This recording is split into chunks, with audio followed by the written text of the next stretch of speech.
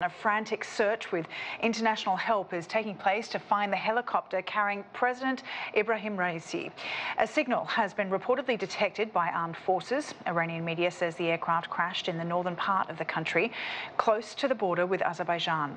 Raisi was returning from inauguration ceremony of a new dam. According to authorities, the country's foreign minister and the governor of East Azerbaijan province were also aboard. Rescue crews are searching mountainous rural terrain. Bad weather conditions, including heavy fog, are hampering search efforts. In an emergency meeting after the crash, Iran's cabinet orders the country's health minister to help in search and rescue efforts. Ehsan Kevani brings us more. Today, President Ebrahim Raisi inaugurated a small border dam uh, with uh, Azerbaijani President Ilham Aliyev in the afternoon.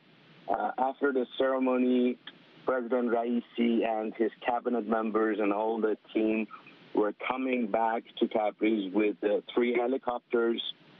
And on the way, according to the vice president, uh, on the way, the, the, two other helicopters uh, understood that uh, the helicopter which was carrying the president and the um, foreign minister was missing. Uh, in fact, the location of the incident is uh, mountainous and uh, very foggy. And today, according to the reports, the visibility was uh, a few meters. So uh, it's a very impossible uh, location, very hard to achieve. And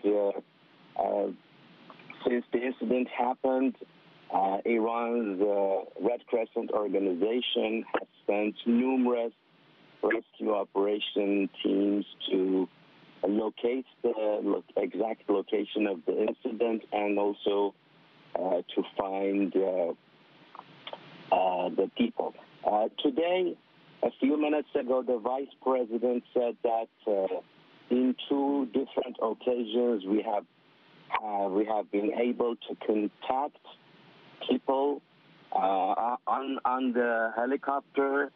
Uh, it means that uh, people have been alive on the helicopter, and he, he gave some hopes to people. But uh, honest, honestly speaking, the, the conditions are very tough, and uh, it, it's very difficult uh, to be survived.